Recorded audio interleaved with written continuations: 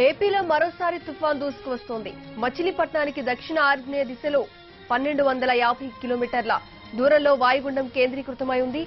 మరో పన్నెండు గంటల్లో అది బలపడి తీవ్ర వాయుగుండంగా మారుతుందని వచ్చే ఇరవై గంటల్లో మరింతగా బలపడి తుఫానుగా మారుతుందని హెచ్చరించారు. అది క్రమంగా వాయువ్య దిశకు కదులుతోందని వెల్లడించింది.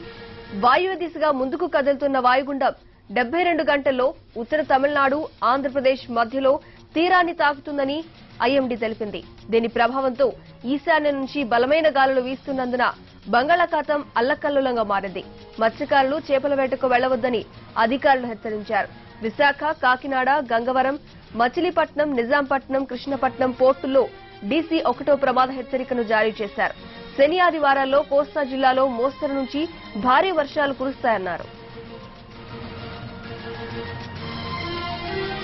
వాయుగుండం ప్రభావంతో నెల్లూరు కోస్తా ఉత్తరాంధ్రతో పాటు పలు జిల్లాల్లో ఇప్పటికే వర్షాలు కురుస్తున్నా ఇటు తెలంగాణలో కూడా వర్షం పడింది. ఐఎండీ హెచ్చరికలతో అధికారులు అప్రమత్తమయ్యారు. తీర ప్రాంతాల్లో కంట్రోల్ రూమ్లను ఏర్పాటు చేశారు. పరిస్థితిని ఎప్పటికప్పుడు సమీక్షిస్తూ ప్రజలను అలర్ట్ చేస్తూ ఉన్నారు. తిత్లీ అనుభవాలను దృష్టిలో ఉంచుకుని ఏపీ ప్రభుత్వం చర్యలు చేపట్టింది. ముందు జాగ్రత్త చర్యగా చేపట్టాలని జిల్లాల కలెక్టర్లను ఆదేశించింది ప్రభుత్వం.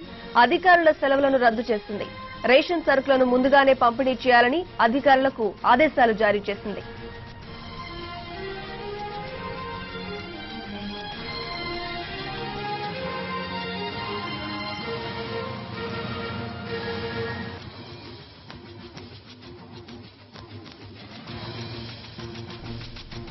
వాయుగుండం బలపడి తీవ్ర వాయుగుండం ఆ తర్వాత తుఫానుగా మారే దిశ మారే అవకాశాలు కూడా ఉన్నాయని వాతావరణ శాఖ అధికారులు అంటున్నారు వాయుగుండం ఉపరితలంలో వీచే గాలుల దిశను బట్టి ఎటు వెళ్ళేది తేలుతుందన్నారు.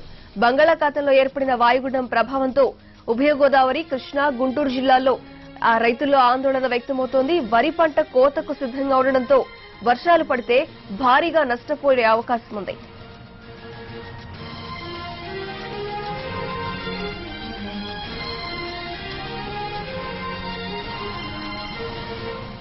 బంగాళాఖాతంలో ఏర్పడిన వాయుగుండం ప్రభావం హైదరాబాద్ పై పడింది. నిన్న సాయంత్రం నుంచి నగరంలోని పలు ప్రాంతాల్లో భారీ వర్షం కురిసింది.